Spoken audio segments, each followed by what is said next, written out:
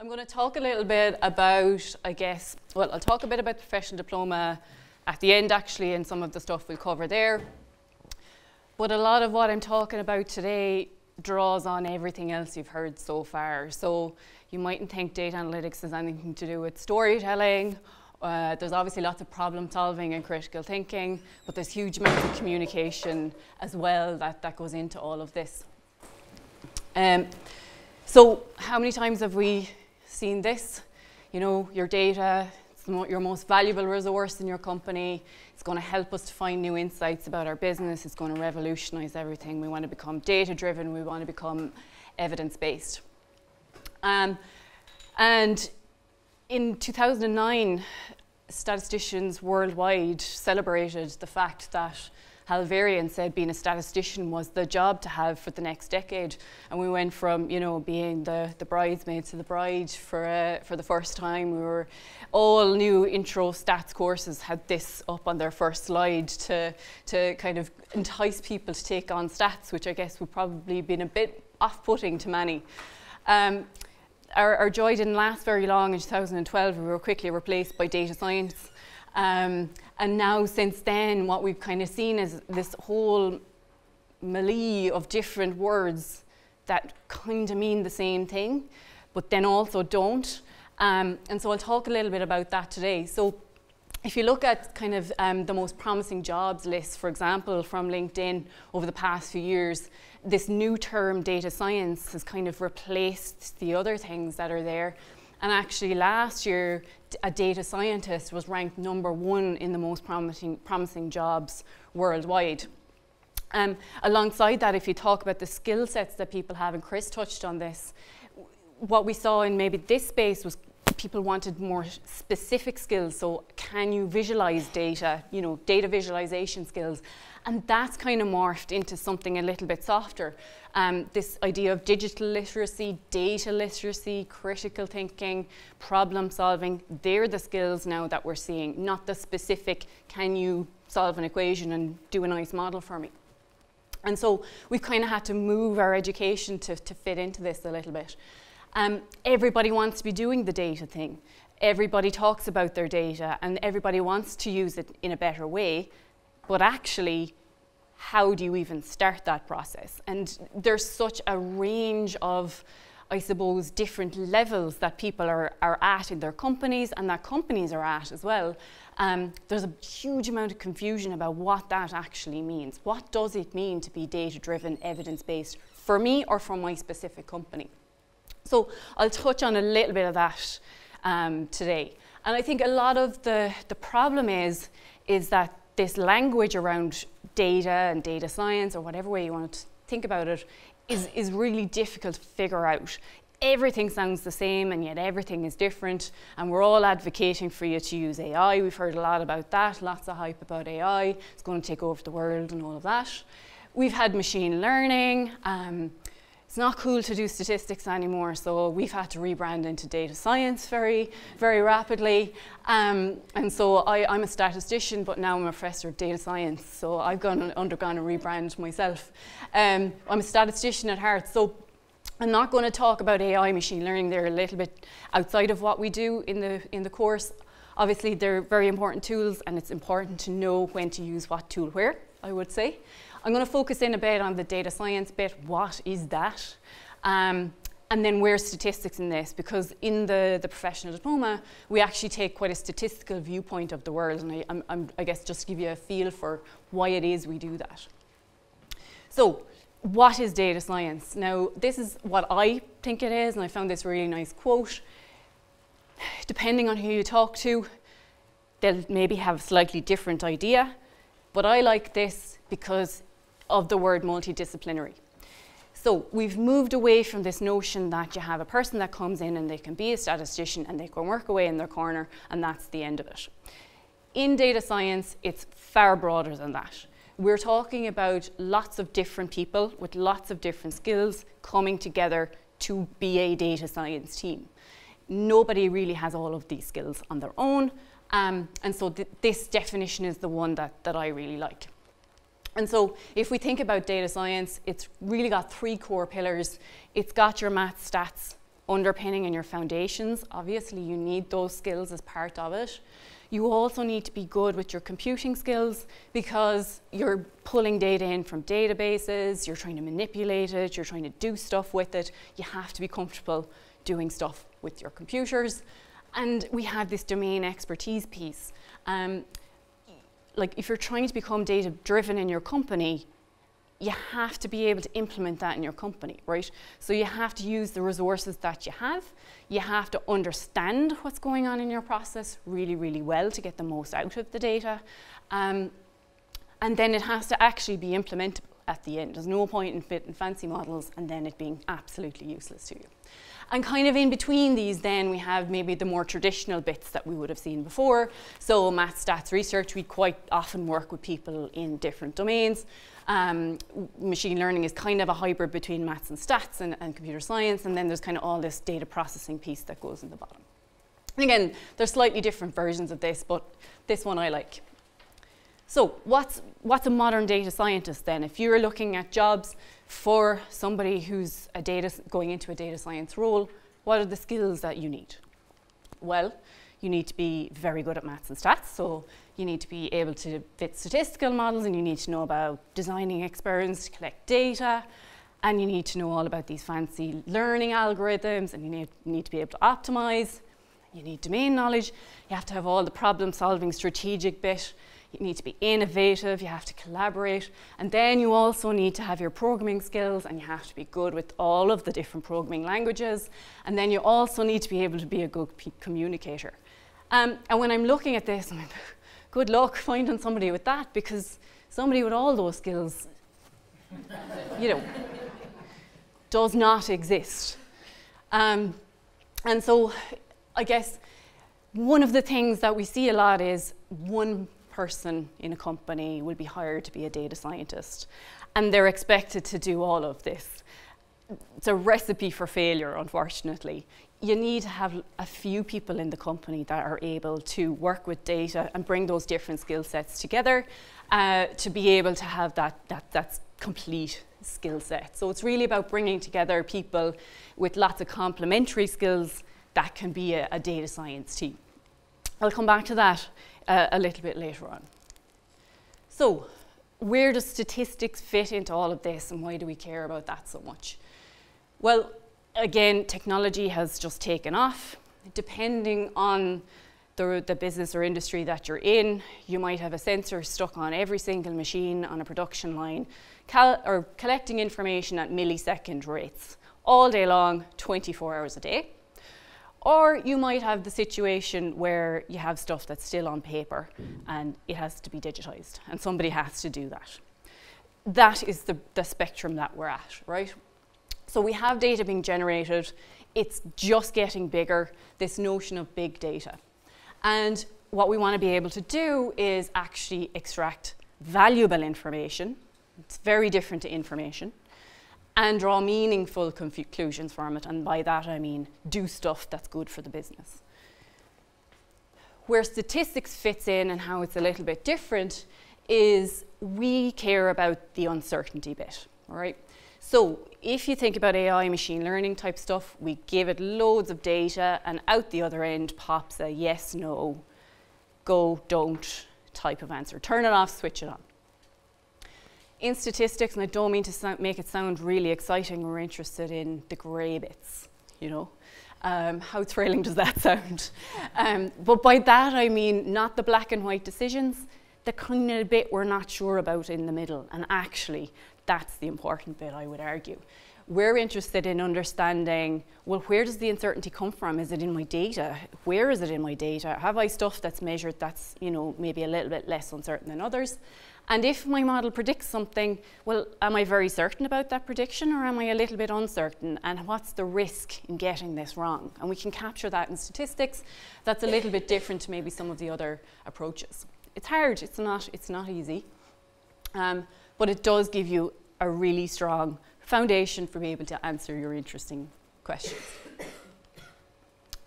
Okay, so I would brand this slide uh, statistical thinking. There's elements in here of of Chris's critical thinking as well, and you saw the DMAIC stuff that he put up there. This is kind of the design measure bit as well. So there's lots of links in there. And this sounds like the easy bit. Um, it sounds like the bit, you know, people would know. But actually, we often find that that's the bit that's missing. Um, what is the actual thing that I care about? Is it my customers? Is it just the yield that's coming off my line? What is it that's really important to me as a business and what's the thing that I'm trying to solve? Stuff is just collected often in, in companies, right? And there's a fear of if I don't collect it and I might need it and you know, what if I don't collect it and everybody else is collecting it and I don't have it? There's a little bit of, of kind of collecting stuff for the sake of collecting stuff because you can. Um, and often that's not what you need to do. You need to go back to the start and figure out what is my question? And then you can figure out the bit about the data. So what data do I need in that scenario? Do I have it already? Do I not? Can I measure it if I don't have it? Um, and, and, and this is kind of an iterative process often. Um, and the last bit then is, well, if I don't have it, how do I, how do I measure it? If, if I do have it, can I access it? So we often find stuff being stored in pockets in, in companies. And actually, nobody knows what anybody has. Um, if you're talking about a multinational, often stuff that doesn't get shared from a US site with the Irish site, even if they might be doing things that are quite similar. Um, and so there's huge issues around how you store your data. If I'm pulling things from different sources, can I put it in somewhere together and make it all consistent and, and be able to use that? All of these types of things go into this planning and designing stage. And again, this is the bit that takes time. But if you do this right, and you've heard that message a few times, I think, today, if you do this right, it makes everything else so much easier. Um, and we do a lot of work, so we work with a lot of companies who come to us wanting to work with us on research projects, and we spend it all, nearly all of our time doing this first and foremost, and then we can, we can go on and do the actual stuff. So if we have our question of interest and we start to think about a statistical analysis, what does that actually look like? And there's really three core phases of this. So we talk about the data collection bit, we'll come back to that in a minute.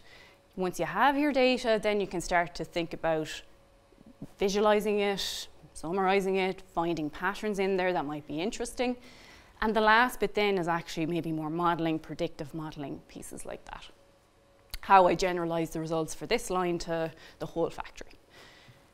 I've deliberately put the cog of the data collection again as the largest.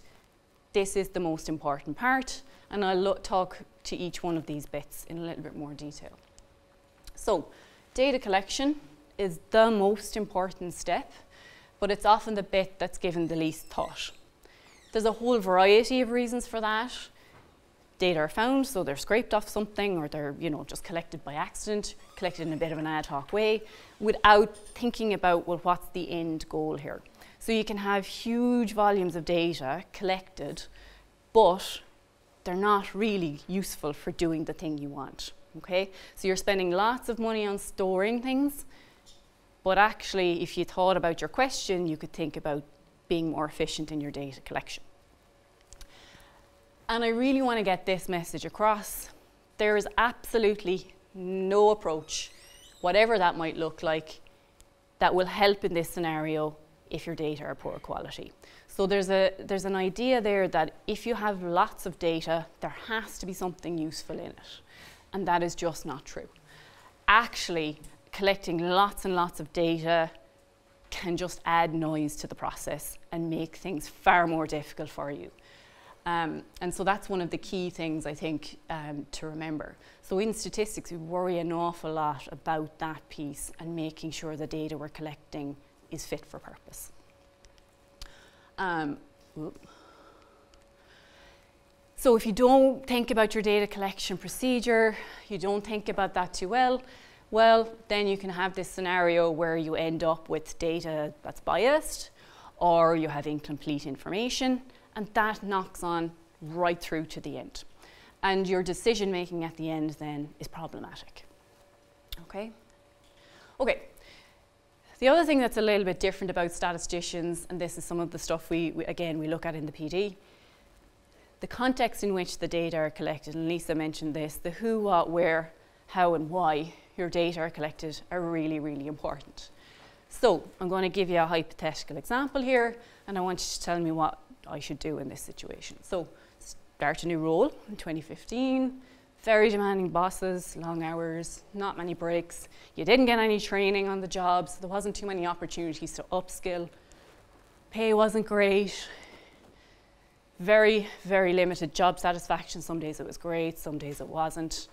Um, so if I put that data into an AI model, what would it tell me to do? Stay on, leave?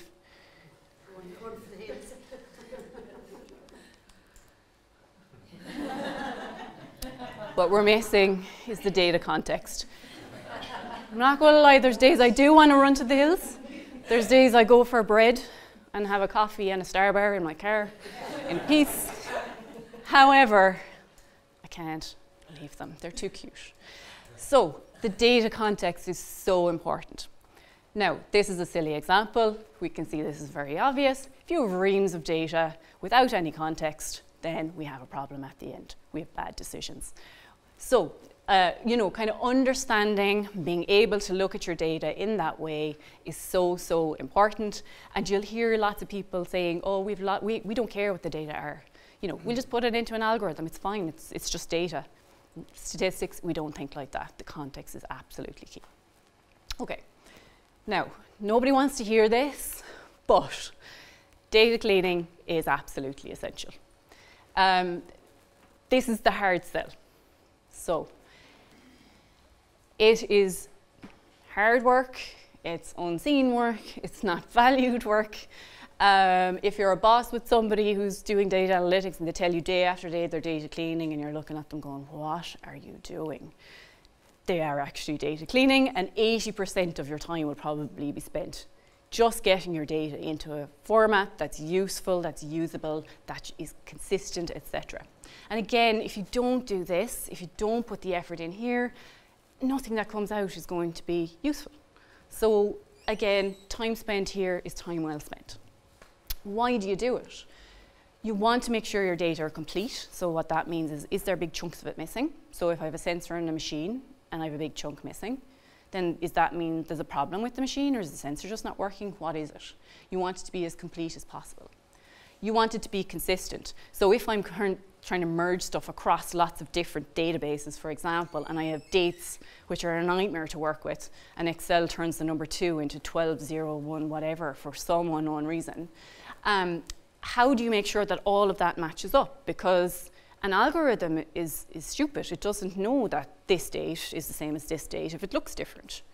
You have to have that consistency. It needs to be accurate, so you're measuring the thing you think you're measuring, valid, needs to be relevant to your, your, your company. And if you're talking about real-time stuff, it has to be coming at you in the time frame that you need it.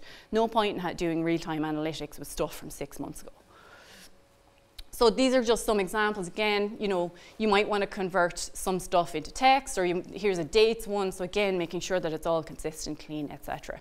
And again, that takes time, um, and data consistency is the, the gold standard. And again, not all data are created equal. Some of it contains more information, some of it is more consistent, but data that has these properties are more valuable to you than reams of stuff that does not have that. Okay, now this is blurry for a reason. Um, once you have all of those bits done and you you're happy that your data are consistent and clean and ready to go, you can start doing useful stuff with it. And I'll talk a bit about a case study in a little while that shows how we implemented some of this. This is just a dashboard from that case study. Again, data visualization, being able to see the things that you're interested in in front of you um, is so important. And, and, you know, it's one of those things that we probably don't value, right, as much as we should. And then you can do whatever kind of modeling you want, and it can be as complicated as you want, and it goes back to the original question you have. These are just examples. I'm not going to tell you any maths or anything like that about them, but you might want to look at relationships between stuff. You might want to cluster things into groups that look similar. You might want to do this kind of binary decision making where if I have this information, I make that call. If I have this information, then it's something else. Two slides versus four for the other one. So we have this, oh, again, this data pipeline. So again, and this really is what I mean by a kind of a statistical analysis pipeline. Data, data, data, data, cool stuff, knowledge, right? So there's lots and lots of steps here to get to the bit where you're going to do the cool stuff, is the point. Okay, so I'll give a quick overview of, of a simple case study that we, we worked on and it'll give you an idea as to the steps in the process that we implemented. Now, this is one of the first industry projects that I, I actually worked on. I was as green as grass and I learned an awful lot of stuff from this. So going back to the don't be afraid to make mistakes, I've made them all, believe me. Um, and, and again, the learnings from that have really fed a lot into how we inter interact and engage since. So this was with a med device company in, in Cork. They were looking at their process and they were basically putting sensors onto all of their machines on their line. The sensors were collecting real-time information and they had identified their business needs. They wanted to understand how those inputs affected their product quality but they also wanted, and this was the big one for them, to figure out how to reduce their scrap levels. So it was costing them several million euro every year in scrap. Um, and it was starting to affect their production capacity because some of the things they were producing didn't go into the, the bin. They went back and were reworked. So it was delaying everything and that was impacting their customer. So they knew if they could figure out this bit, then that would impact customers in a positive way. So what were the business aims? Well, data-driven decision making, the usual one, improve cost effectiveness, market competitiveness. I call this white box modeling. So again, with machine learning AI, you can give it lots of data. You don't really see what's happening on the insides and then you get something out. By contrast, they wanted this kind of transparent box where they could understand how things were related to each other and what was the impact of that on the, the output. So identify the things that were important um, and understand their process a bit more. So I call that white box modeling. So this smart factory tech was really where they put a label on stuff and they could track it the whole way through their process. Um, and they wanted to be able to identify very quickly when the process that shouldn't be drive typos drift um, and take corrective action. I only spotted that yesterday. Um, and, and this whole process was seen as a key enabler for them. So this was going to be the project that kind of showed them and showcased the, the data analytics power and, and statistical analysis power. So when we came in, as I said, I was lovely and green and I skipped in thinking we'd loads of data. And actually what happened was the data was everywhere and anywhere. So there was stuff that was on paper. We had to get that digitized. There was legacy equipment there where you had to go with a USB stick and physically download the data off it. And then there was also this new automation stuff that was going on that was literally collecting real-time information uh, in the machines as the, the things were being produced. And none of that was linked up. Um, and so I nearly had a heart attack because I don't know how to do this. Um, and we couldn't do any modelling because we'd none of the data in place. So we had a postdoc working on the project. She was amazing. She went into the company, worked with their IT group, and actually set up a centralized database for the first time. So to give you a feel for this is just the data collection piece and putting it all together. Um, their process engineers are spending about a day a week trying to access data. And then they were wondering why they couldn't actually take corrective action fast enough. Of course you can't. There's no easy way of getting at your data. So this is not our typical skill set, the setting up the database bit. This is where you need people with that expertise. It's not, it's not simple. Um, it took 18 months out of a two-year project to do that. Um, so just give, now we were slower because we didn't know what we were doing. Um, but you, just to give you a feel for kind of the timelines, all right? And we could do nothing until this was there. So once that was in place, then we could we could clean it and we knew it was consistent and all of that, we could do some really good stuff. So one of the first thing we did was create this, this Qlik app. So Qlik is a, is a type of software. For the first time, the process engineers could see their critical process variables and they could see it happening in real time. So they could immediately spot when something was going wrong. Absolutely revolutionized their lives. Um, we also, they were trying to do another project, so they were absolutely certain that a particular part of the process was driving their scrap levels. Um, and once we had the data in there, we looked at it, we said, no, there's nothing here. That saved them a quarter of a million euro. That was how much that project was going to cost to run, to find nothing. Um, we, we found kind of locations where scrap was quite high. We also found, and this was very delicate, and again, I'll come back to this in a minute, um, the most variable parts of the process were the people ones.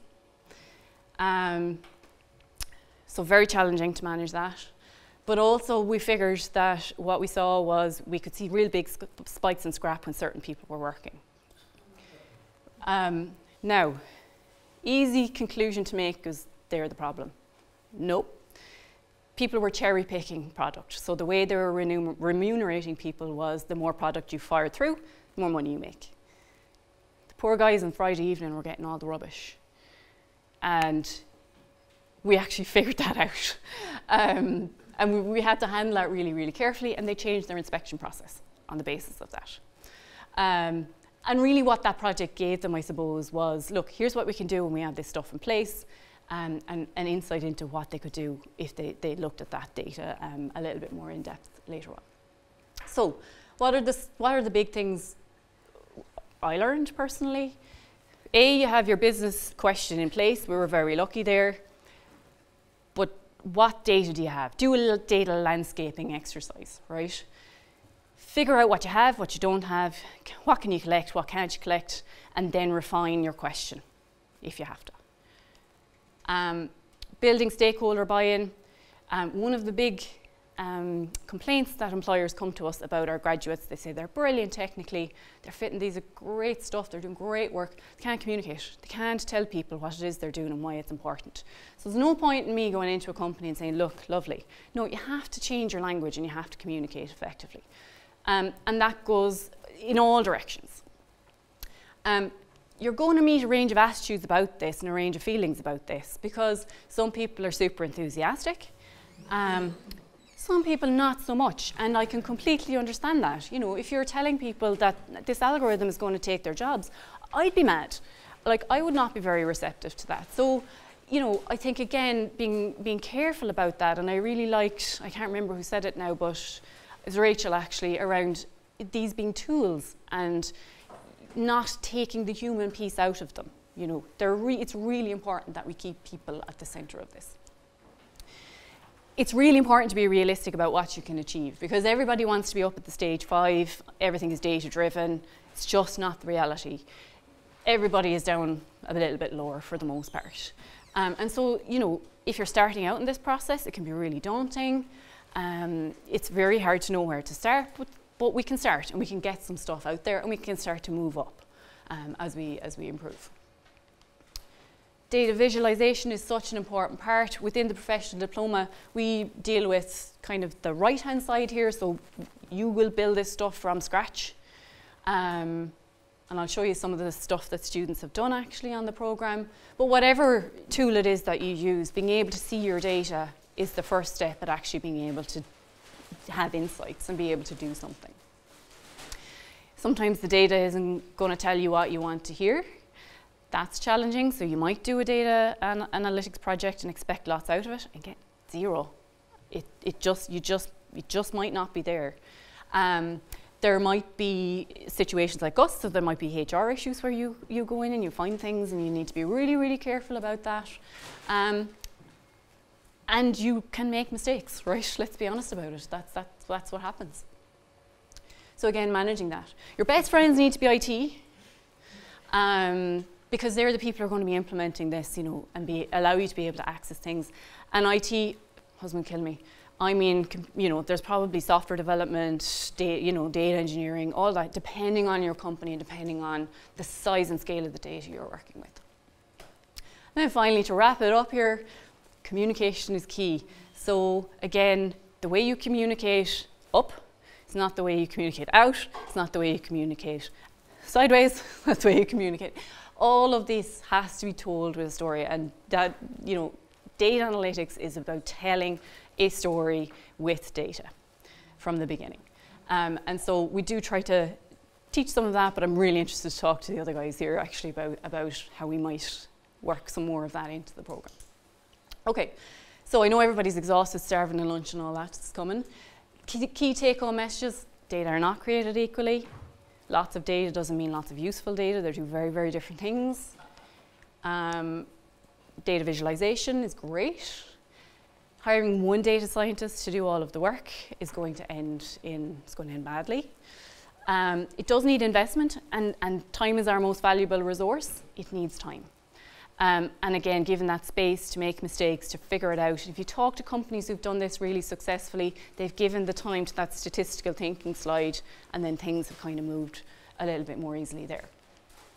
And it is a long-term iterative process. You will learn things and you'll go back and you'll change and you'll redo and you'll learn as you go.